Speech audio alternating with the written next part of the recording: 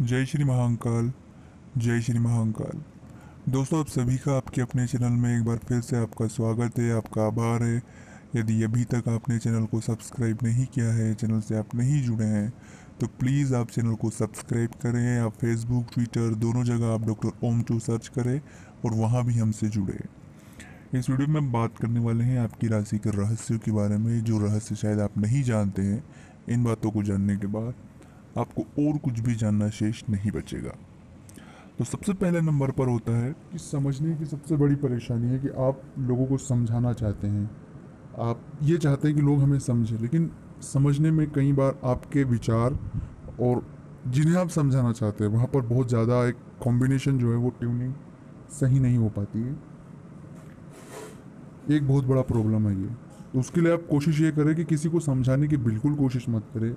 उनको अपने हाल पर छोड़ दें, जो भी उनका पॉइंट ऑफ़ व्यू है, वो होगा। हमें केवल हमारा काम करना। ये बिल्कुल होता है।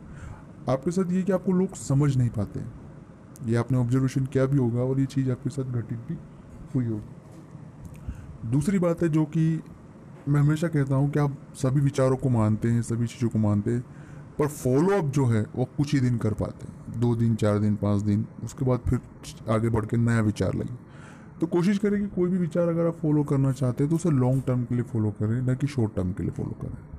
यह हर व्यक्ति की कमी है, इसमें आप भी इंक्लूड है।